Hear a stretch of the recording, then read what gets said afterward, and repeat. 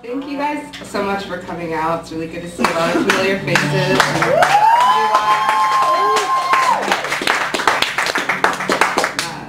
I'm Andrea Shoup, and this is Wesley Hine, also known as Cousin Bones.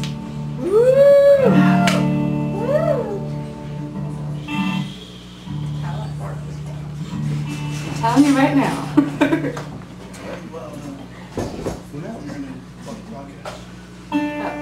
Um, I'm starting a podcast, so any donations that I get tonight will go to hosting fees for that.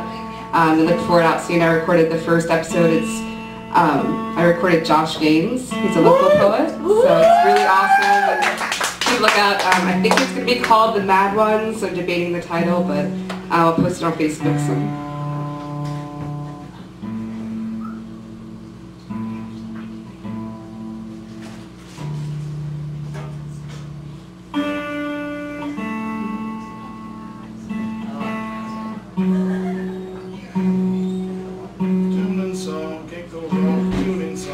So you have a tuning poem? Tuning home, right? You want to? Yell it out. tuning time, tuning time. You can borrow it. Well, that is my boyfriend. So.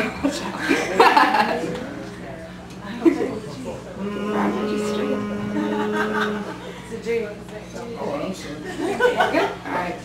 This first one's called Chicago. You think she belongs to you the same as I once did when I took her for granted, using her to believe in and build myself selfishly in her presence. She belongs to whoever fights for her, takes her changing winds, empty stares, accepts her past along with ridiculous hope. Get lost in her. There's no other way to really feel her. She speaks so many languages, words are lost at times, as imaginary to you as symbols in advanced mathematics courses. So many different routes to take to a destination that's unclear. Her rules and expectations at best will push you, at worst wear on you, until everything you knew is lost.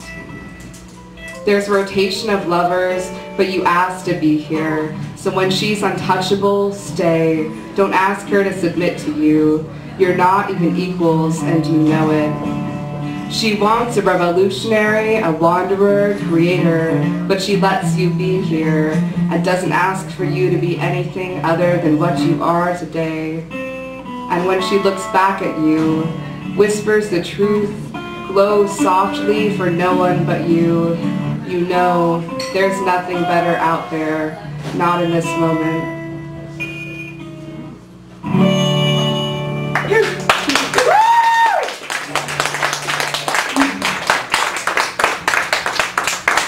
This one's called Birds.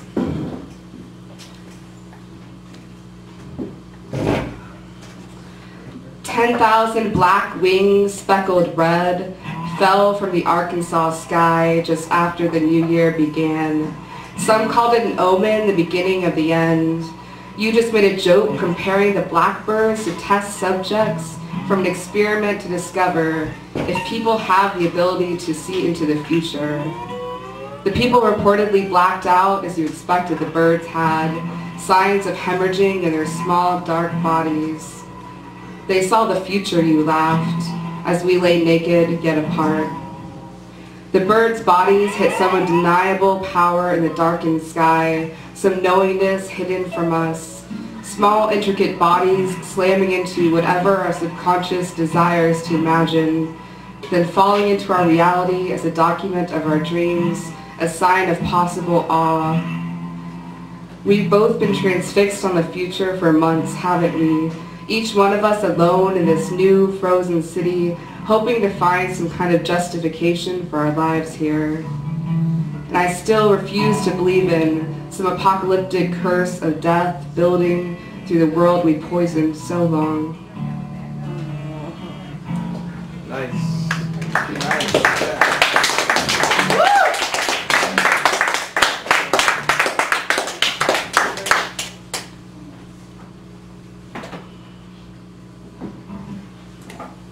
This one's called Fever. was written during the heat wave last summer. Getting excited about those again. It's so damn hot, none of the choices in fit in life fit right, and I never should have fell in love. We're too fucked up and it's like looking in an emotional mirror. I've been laying in my bed, masturbating for days, sweaty in this heat, and the world feels like a fever desperately in need of breaking. I'm trying to figure out what I need. I need to write. I need money. I need a job. I need groceries. I need a fucking couch. I need to live in an apartment without mice and gunshots. I need to figure out how to start my life because I'm trapped. I need therapy to calm my nerves about my mistakes. I need to go to the gym and watch Rocky run. I need to call my parents, tell them not to worry, explain why I can't move someplace easier because my dreams don't exist there. I need to find a way they can hear that. And I need whoever is letting Satan control the weather with another day above 100 degrees to fuck off. I need to put the window AC in correctly, not just taping the side parts. I need to shower. I need to do the chores like hang my mirror, the signal faith I'm going to make it here. I need to learn heartache is like fuel when everything is going wrong, like daydreams and plans no one understands but you. I need this fever to break and remember this is still where I belong.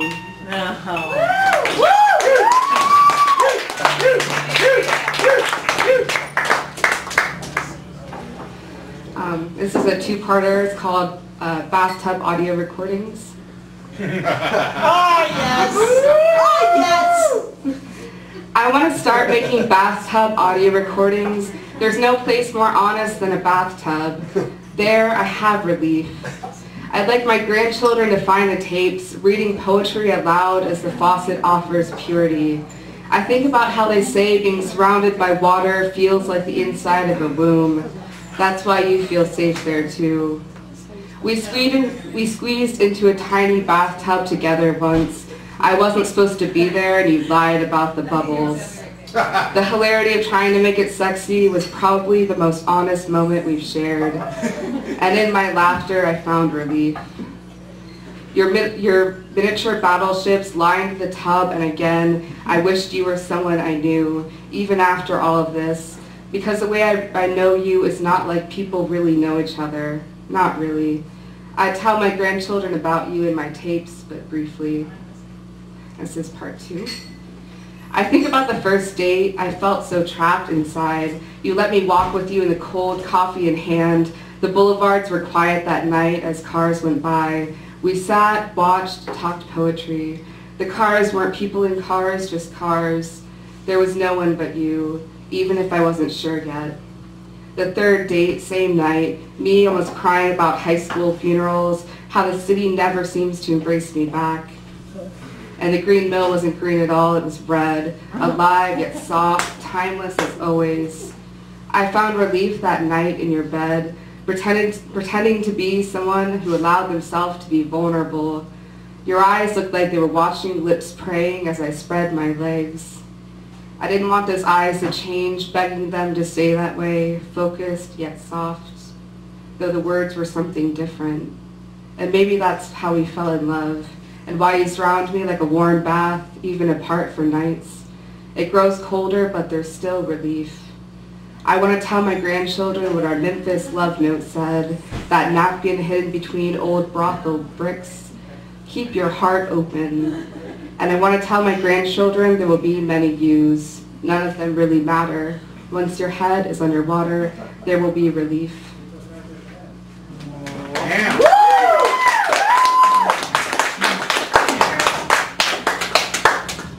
This is untitled right now. Allow me to be the image of a girl, not a woman, strong atop your sheets, a manifestation of what you cannot yet reach. I'll be memories of patterns in your mother's apron, pretty girls upright in stiff desks whose eyes never met yours, faceless young women tasting of college town whiskey and almost settled regret. Let me be what you almost see, and a kaleidoscope of unsurfaced hope. Just don't let me be the one whose words never rose above a whisper lost beneath a moan. who, whose mistakes were for nothing more than to mark another cyclic passage of time. We have grown apart. We walk on stages, write countless pages, but we've never captured the meaning here. There are lines to grant our ghosts as I watch them writhe in passion, reaching through parallels in time, never to touch, that for which we selfishly reached through each other to grasp ourselves. Passion has a way of suffocating. We scraped the beauty off each other's skin, stored the dust of our bones for fantasies, but look so barren now, eye to eye, as our bodies begin to lie.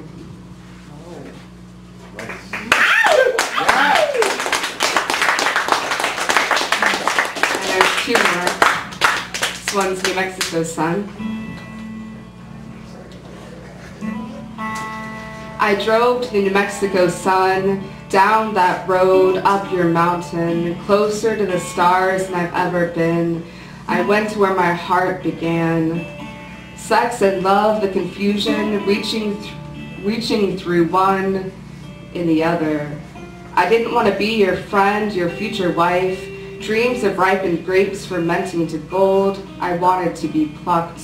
I needed to make that moment everything.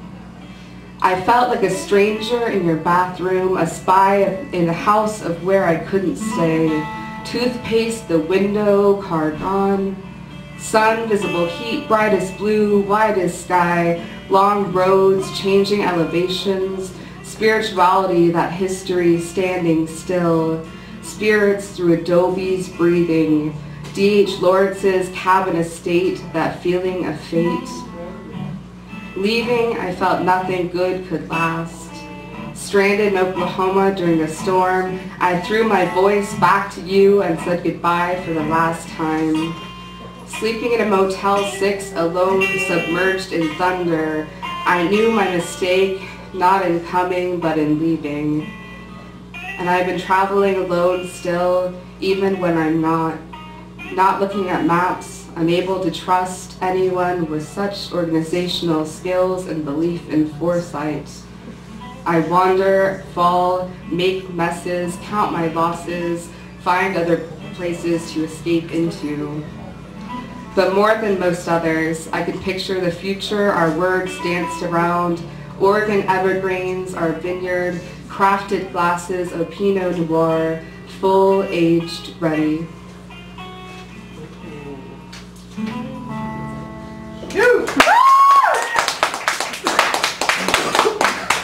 Two left now. This one's short. This is ghosts.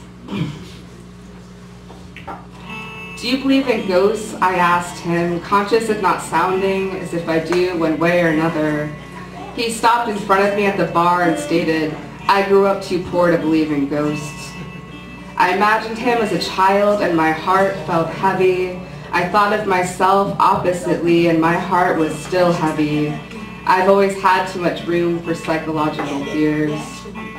And I thought of a few weeks before creating a small makeshift Ouija board with a soon-to-be lover in a dim 4 a.m. bar glowing red with undeniable need. We placed our fingers lightly on the upside-down shot glass, anticipation growing like childish excitement, and I asked if there were any spirits near. Nothing moved, even after a couple tries, a sign right then if we had been selfless enough to listen. I went to his place anyway, taught him my tricks and cast my spells, and I held that moment in my palm as a crystal ball, reflecting ourselves, some magic to be learned. I left in the morning, and he became another future ghost of mine. Ghosts whispering alternative people, alternative truths. Ghost crusting the places so unreachable now.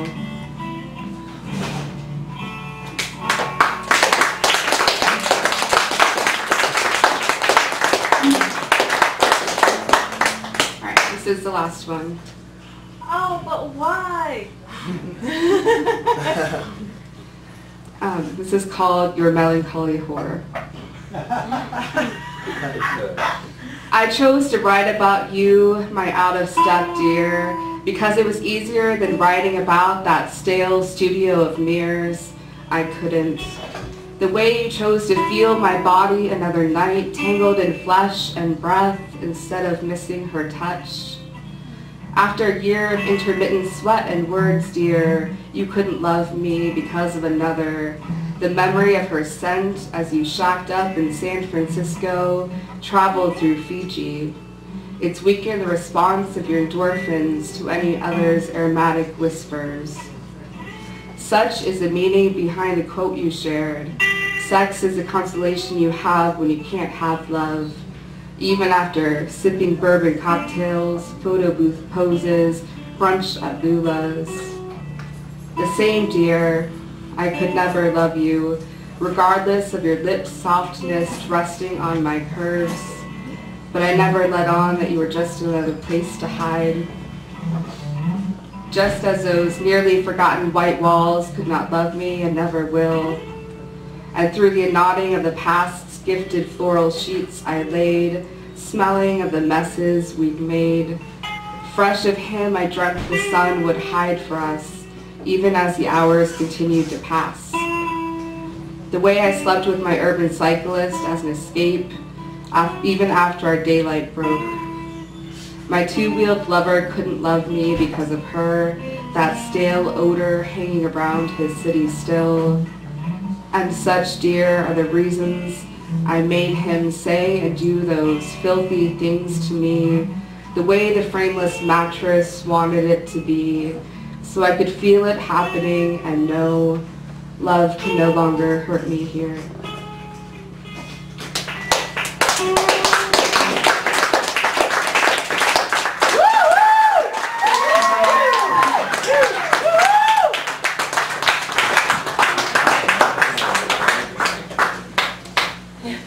I love how I could just be so authoritative and say, you're staying there. Please, ladies and gentlemen, give it up one more time.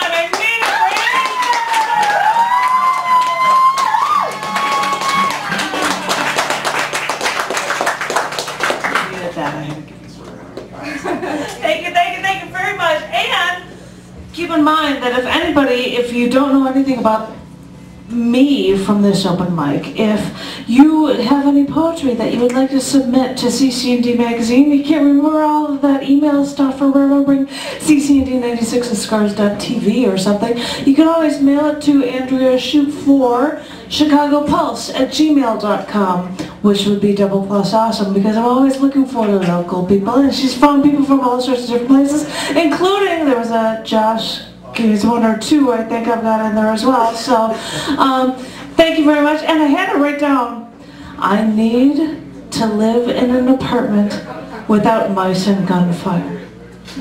That's a beautiful line. And I was just like thinking, I'm like, I used to always be in an apartment in Logan Square and I just like have a glass of wine up on the second floor of the back porch and watch the rats that were like a foot long with a foot long tail. I'm like, you're awesome. So that's what Chicago is. You have to love it, I swear to God. Um, I'm going to be really, really brief and say something about our upcoming features because right now our website is not up but it will be by Friday for her podcast, www.chaoticarts.org slash the cafe for the cafe gallery. Um, but in two weeks on May 8th, day after my wedding anniversary, I'm going to be here anyway. Give it up for Charlie Newman, who's going to be our feature then. Yeah, Charlie Newman.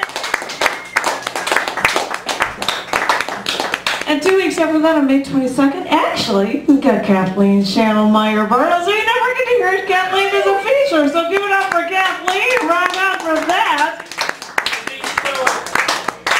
June 5th has Robin Fine, which is so cool. Fine time! Fine time! Fine time! Fine time! Exactly as CPA would always say. And then on June 19th, which is right before the summer solstice, Esteban Colon is our feature. So I've got like two bunch of awesome, awesome, awesome feature things. So I want everybody here, and I love all my newbies. Oh my God, I love you all so much. Please come here all the time. I double plus love you. If you need to bug me for email addresses or anything to get a hold me, I would love it. And thank you all. Thank you guys. You're just, you, they're like, we're just to be in the front and be all hot and sexy in the front. But that's just how I roll. Sorry.